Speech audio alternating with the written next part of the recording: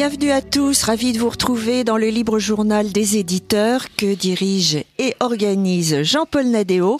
Alors on vous attend pour rester avec nous pendant une heure et demie.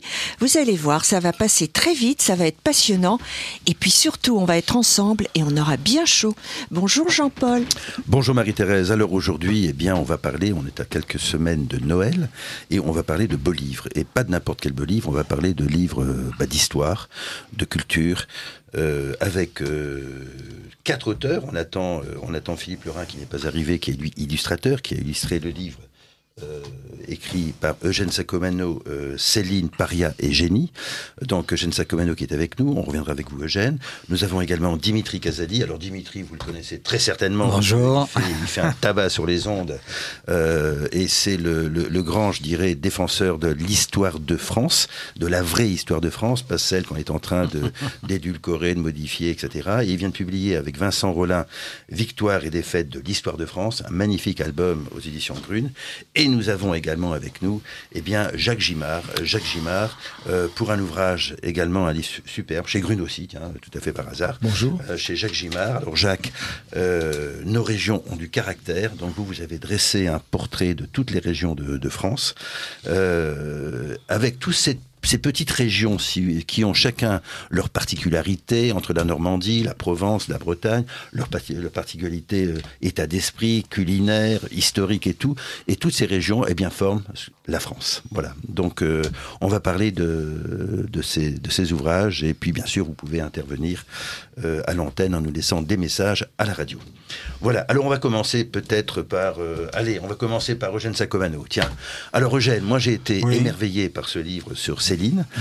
Euh, on vous connaît beaucoup parce que vous avez vous faites le grand écart. On vous connaît beaucoup par le football. Moi, je me souviens, on avait fait ensemble un livre chez Larousse, de Larousse du football, il y a très longtemps. Que euh, devient Chancel Vous étiez chez Larousse J'étais chez Larousse, j'étais directeur général de Larousse à l'époque. Que devient pas Jules Chancel? Je ne sais pas, je l'ai ah un bon. peu perdu de vue. C'était votre éditeur chez Larousse, je sais bien. Ah bon, bon. Euh, C'était Chancel qui, vous, qui, qui s'occupait de votre livre oui. à l'époque. Et, euh, et, là, vous publiez donc cet ouvrage Céline, Paria et Génie.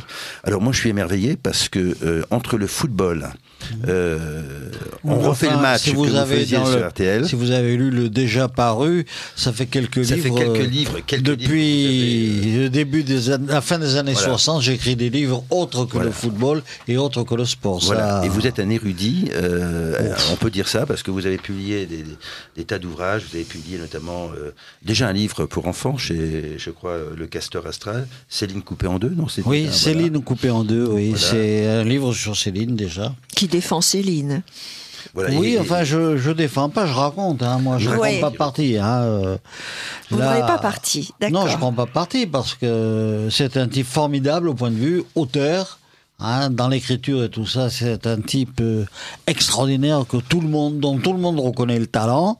Maintenant, sa vie, euh, sa vie, je la raconte aussi, bien sûr. Ouais. Mais sa vie personnelle, son attitude, euh, notamment au moment des pamphlets, tout ça, là, je me garde Oui, bien. là, je raconte. mieux reculer. Je raconte, mais bon, à chacun de se faire une idée. Alors on disait de Céline, je ne sais plus qui disait, mais comment peut-on écrire aussi bien et penser aussi mal? Je ne sais pas à qui revient cette, euh, cette phrase sur, sur Céline. Ah. Euh, là. Alors vous, vous avez été pendant euh, près de, de 25 ans directeur des sports à Europe 1. Oui. Euh, moi, je me souviendrai vous de cette magnifique émission re- re- après le match. On refait le match. On refait le match, c'est Mm. ça? Vous étiez un animateur. Tout le très- monde a repris la formule. très, très- On refait, on refait ça. On refait le match. Vous suivez toujours le football? Vous suivez? Ah, je suis euh, à la télévision. Je À regarde un grand match, Ouais. mais je vais plus pratiquement plus sur les terrains parce que d'abord en ce moment il fait très froid. mais non, ça, ça m'intéresse moins, disons, voilà. Mais je suis le football, hein, ça, ça me plaît bien. J'ai des équipes que j'aime bien et, et voilà. Mais bon, je ne vais pratiquement plus sur les terrains. Alors, vous êtes originaire de, de Saint-Martin de Valgade. Faux. C'est faux, ça hein? Oui, oui, vous avez vu un truc dans Oui, Wikipédia. ça, exactement, c'est une folle qui un jour m'a attrapé et ne m'a pas lâché pendant une semaine. Et elle a raconté que des conneries sur mon.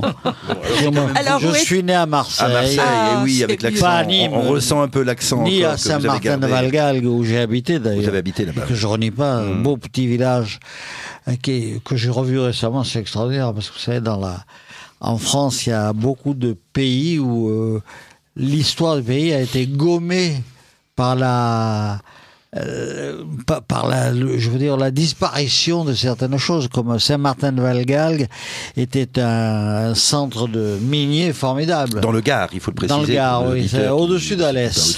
Bon, il y avait des mines, euh, beaucoup de, des puits de mines, etc. Et je suis allé récemment, bon, tout ça est devenu des parcs, des... parce qu'il n'y a plus de mines, et il n'y a plus de mineurs, et, et voilà quoi. Mais bon, Alors c'est vrai que vous avez gagné un concours à l'âge de 14 ans, qui était euh, le, le concours de, un concours de jeunes reporters, ce qui vous Oui. a permis d'aller aux Jeux Olympiques d'Helsinki. d'Helsinki. Oui, oui, c'était. Bah, J'ai plus de voix, moi je suis enrhumé à Helsinki. C'était un concours euh, de radio reporter. Ça s'appelait le concours du meilleur radio reporter sportif euh, de France. Pour les jeunes, hein, pour les jeunes. Et vous avez travaillé au Provençal. Mon second, c'était le second qui est arrivé, s'appelait Thierry Roland. Oui, tout à fait. disparu, le pauvre.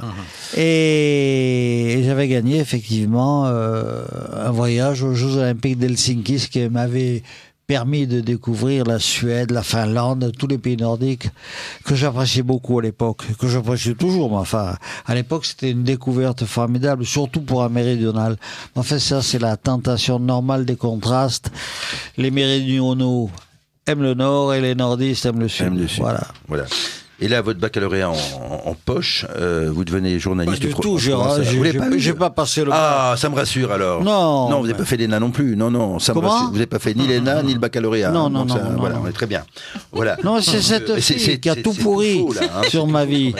Et alors, comment corriger Moi, je sais pas. Eh bien, vous le corrigez, là, Eugène Sacomano. Voilà, vous dites la vérité, là. Là, Aux ici, auditeurs oui. de Radio Non, mais il faut, il faut le mettre aussi sur, euh, sur votre oui, sur Wikipédia, mais ça marche pas. Alors, vous avez publié en 59 euh, un ouvrage, euh, Bandit à Marseille. Oui, Alors ça, c'est c'est mon premier livre. Votre premier livre qui a eu un succès. C'est Borsalino. C'est Borsalino. Alors Borsalino, grand film, un grand film réalisé par Jacques Deray que j'ai bien connu, Oui. euh, par Jacques Deray avec une Un la, type la formidable, fameuse un Jacques type formidable, Jacques. Jacques, quelques temps avant son départ, il Hmm. vivait avec Agnès Vincent, qui est une de mes amies, et il venait en Normandie chez moi. On Ah. parlait de toute cette époque avec Delon, ce film notamment qui où il y avait Delon, Belmondo, avec la musique de Claude Bouling, euh, qui a marqué l'histoire du cinéma parce que c'est resté un grand classique. Eh oui. Et c'est parti de votre livre.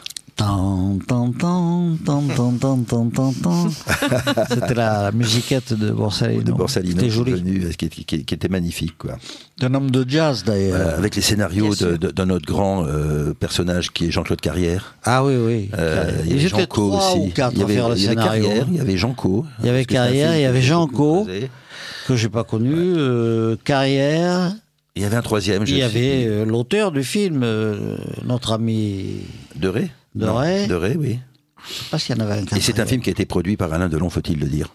Le producteur Non, était pas, Delon. pas, non pas, pas, C'était pas Delon qui était pas Borsalino, non. Après, il a produit Après, il a produit. Borsalino Co, je Oui, crois. c'est ça, il a fait une suite où je ne sais pas Mais non, non, là, c'était la Paramount. Voilà, alors là on arrive en 1970, donc on parle un peu de vous parce que les gens vous situent comme étant un footballeur. Oui. Euh, donc c'est bien de, Footeux. de- de dire un footeux, et donc c'est bien de dire, de rétablir l'histoire. Et cela. c'est pas c'est pas Dimitri Casali qui va me dire le contraire, de rétablir l'histoire Mm. et de dire qui vous êtes aussi. En 70, vous devenez journaliste européen, euh, c'est ça Dans les années 70 Oui, enfin, je l'étais depuis. J'étais correspondant d'Europe 1 à Marseille, À Marseille. depuis 1960. Et en 70, je monte, comme on dit dans le midi, je monte à Paris. Et On monte à la vais- capitale. Voilà, et je vais à, à Europe 1, Hmm. où je resterai 30 ans tout de même. Moi, je suis je suis d'Aix-en-Provence et j'ai fait comme vous. Je suis monté à Paris Ah, et oui. puis euh, c'était pas la radio, c'était l'édition et puis voilà. Ah, oui, toujours. On était pris Ouais. un petit peu au piège, quoi. Moi de Toulouse. Ouais. Après, enfin, ça va faire une belle liaison avec Oui, le, avec le livre de. de- de Est-ce qu'on a le temps de demander juste à Eugène Sacomano un grand souvenir pendant ses 30 ans à Europe? Oh, Juste Europe, il y en a- pour il y en a partager, beaucoup de oui, enfin, il, y a, il y des souvenirs journalistiques. Oui, par où on exemple. a, on a la sensation d'avoir fait des coups extraordinaires. Notamment, euh, j'étais à Munich en 72 et j'ai couvert Munich euh, dès le début, c'est-à-dire le matin à 8h15 et puis le soir à la fin de Munich et, et la- le dénouement que l'on sait, tragique. Hmm. Bon, Munich complètement et puis où Europe avait vraiment pris les devants sur le plan de l'information. Il faut dire qu'on avait un type euh, en Israël qui s'appelait Ben Porat. Je ne sais pas si le nom vous... Ben Porat. Et il était à la fois correspondant d'Europe, mais il était un peu aussi au service secret, je ne sais pas trop quoi. Et ça, a été, oui, ça a été un des premiers à apprendre le, drame du matin, c'est-à-dire les, athlètes poignardés, tués, etc. Et il a eu le bon réflexe d'appeler tout de suite Europe 1. Et voilà comment les premiers on a eu l'information que j'ai moi développé sur place par la suite. Il y a d'autres euh, moments, d'autres souvenirs. C'est par exemple 30 le ans de service européen, vous devez en avoir Le départ de Platini pour la, la, Juventus de Turin, etc. Oui, il y, en a beaucoup. Il y en a beaucoup. Et après, vous êtes passé sur RTL. Pardon? Vous, vous, avez basculé sur RTL. Après, j'ai basculé après 30 ans d'Europe 1 j'avais de gros problèmes, enfin de gros problèmes, des problèmes. Je pouvais pas supporter le nouveau directeur de la rédaction qui s'appelait Jérôme Bellet. Euh, et donc, euh, on s'est un peu accroché et je me suis bien, je les ai bien eu. La fierté de, j'avais fait croire que je partais à la retraite. Et en fait, je partais à RTL où j'ai passé dix années formidables. Retraite, c'est un vilain mot pour un homme comme vous, non Pardon on Un homme comme vous, on n'est jamais à la retraite. Ah non, non, on n'est jamais à la retraite. Toujours actif. Et... Oui, oui. Fait des livres après. Voilà, donc, euh, et puis vous quittez donc en, 2012, je crois, RTL. Oui. Voilà, et aujourd'hui et aujourd'hui, euh, bon, je travaille un peu, enfin, je fais un peu quelques apparitions dans une émission de Pascal Pro à iTélé qui s'appelle 13h euh, Foot. Et je viens là pratiquement tous les samedis, sauf celui-là. Mais enfin. Euh, et vous écrivez? J'écris surtout, oui, voilà. J'ai écrit une vingtaine de bouquins depuis, depuis Borsalino, sans compter bien sûr les bouquins de foot, alors là, à une certaine époque, ça ah marchait très bien. Vous avez publié beaucoup de, beaucoup de livres. Mais maintenant, ça marche sur le football. Il y a la télé, il y a Internet, il y a... Les stars de la Coupe du Monde en 2010. Voilà, un truc comme ça, ouais. Euh, et Marseille, vous avez gardé toujours des... Marseille, oui, j'ai des, copains qui sont toujours là, mais enfin le temps passe, on n'a plus les mêmes bah copains. Et, mais j'ai toujours euh, deux, trois bons amis à Marseille. Et c'est une ville que j'aime beaucoup et que je revendique un peu. Parce que, enfin, je revendique. Je, je, m'oppose toujours à ceux qui taillent Marseille, qui critiquent Marseille. Voilà. Et surtout, surtout maintenant, où elle est devenue une ville fantastique. Voilà, et donc vous n'êtes pas simplement un fouteux, comme on le dit, euh, je ne veux pas dire vulgairement, mais vous êtes aussi un écrivain, vous bah, écrivez. Alors si je vous pose la question, est-ce que vous préférez Zidane ou Céline? Ah, question piège. Hein. Oui, non, je préfère quand même Céline. voilà, alors ce livre, Jeanne Sacomano, avec des dessins magnifiques, ah des illustrations magnifiques de, Philippe, de Philippe Laurin, euh, qui sont superbes. Donc vous refaites un petit peu le parcours, le parcours de, euh, de Céline. Voilà, c'est ça. Là, il s'agit dans ce bouquin de... Parce que c'est parti d'ailleurs d'une idée de l'éditeur qui avait sous la main Philippe Laurin il fallait un auteur pour raconter la, vie de Céline de A à Z, quoi. Alors, euh, bon, il y a, y a encore 4-5 personnes qui, qui s'intéressent à ça. Et j'ai été contacté, donc, euh, et j'ai écrit euh, le texte sur Céline. Qui est un type étonnant. Alors l'éditeur, je rappelle, c'est Max Chalet, qui est un, oui, Max excellent éditeur qui est dans le métier depuis très très, très longtemps, si je dire.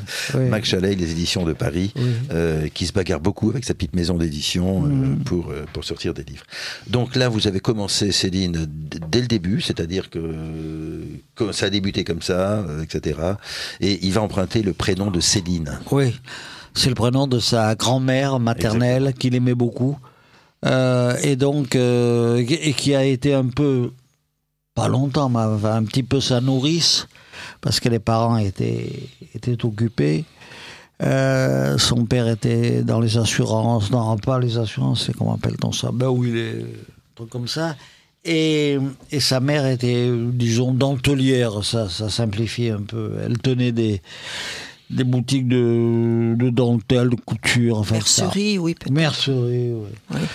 Et bon, alors, tout jeune, sa, sa grand-mère l'a quand même eu souvent. Et il avait beaucoup de beaucoup d'affection pour cette grand-mère, et qu'il a, évidemment, qui est, qui est parti euh, assez tôt par rapport à à son Bien âge, sûr, enfin l'âge de. Mm.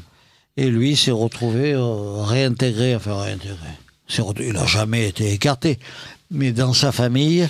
Et là, ça n'allait pas très fort. Enfin, entre la femme et. Entre sa, sa- son père et sa mère, ça, ça allait bien. Mm. Enfin, c'était des gens relativement. La famille des touches.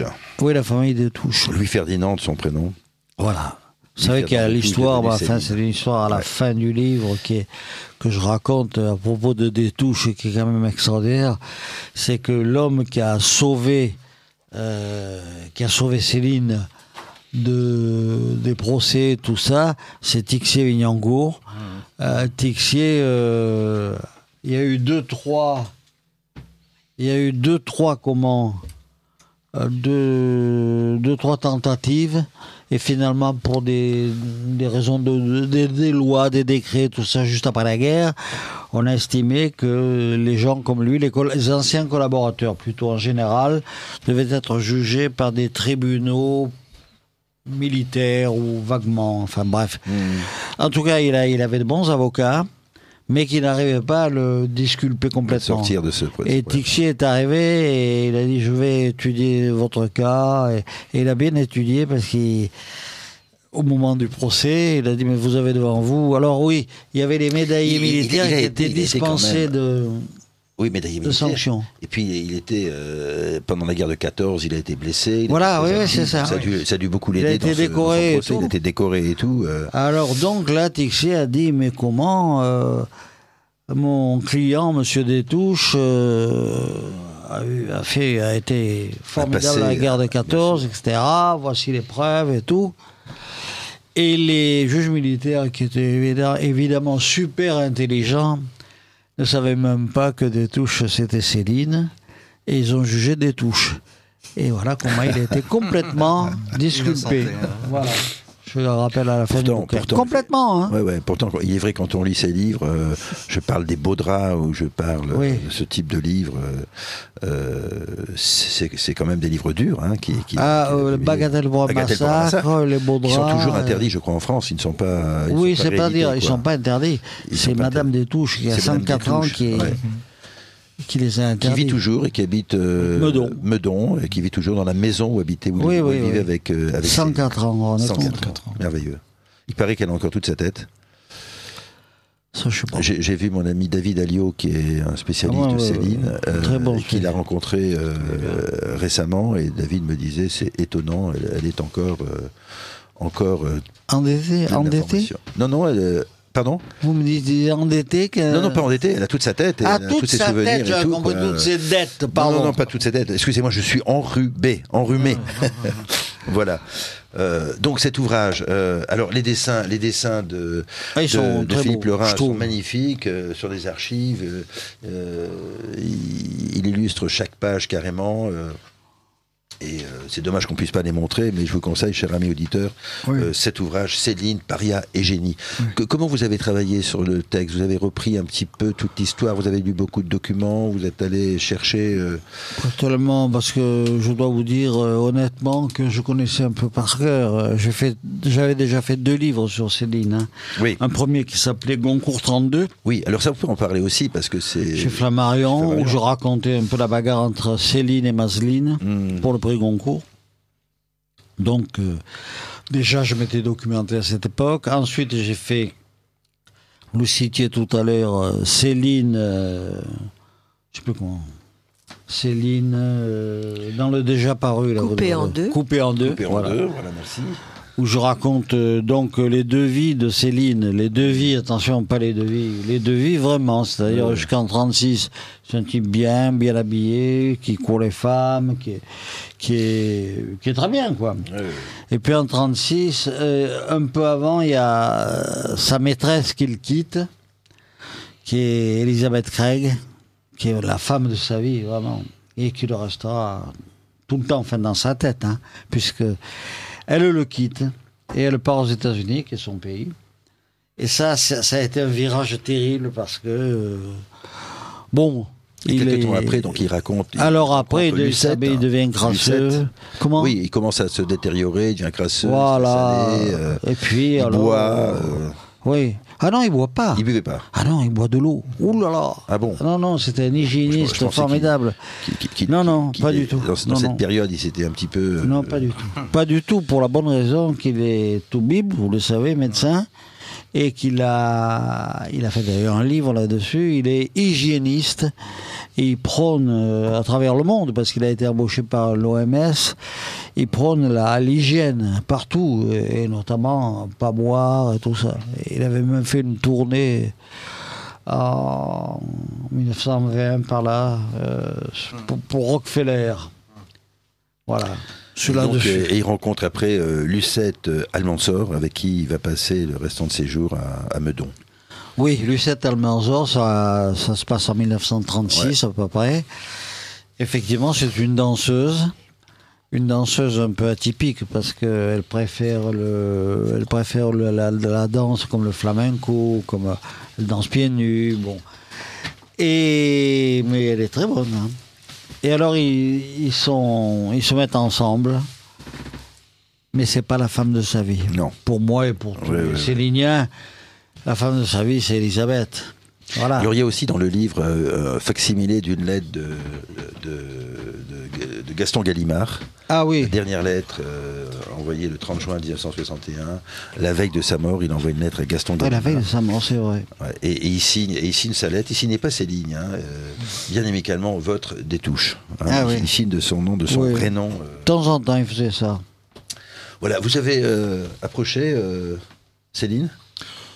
Non, j'ai. alors, Euh, Sûrement pas parce que. dans il la est mort. lecture. Dans la oui, lecture. Dans, Si, dans oui. la lecture, oui, j'étais. Alors, j'ai, je suis repassé trois fois sur euh, Voyage au bout de la nuit. Je l'ai lu ado, le livre m'avait un peu fatigué dans le style. Et j'ai lu adulte deux fois, je l'ai décortiqué, euh, livre extraordinaire. J'ai beaucoup aimé Nord aussi, qui est sa Ah, fuite, euh, sa fuite éperdue, euh, voilà. À travers l'Allemagne. Et oui. pour euh, rectifier sans prétention les propos de Jens Sacomano, c'est pas un tribunal militaire qu'il a vu. Il a eu le régime spécial de tous les collaborateurs, ce qu'on appelait la cour de justice. Et par chance, C'était la Cour de justice ou le.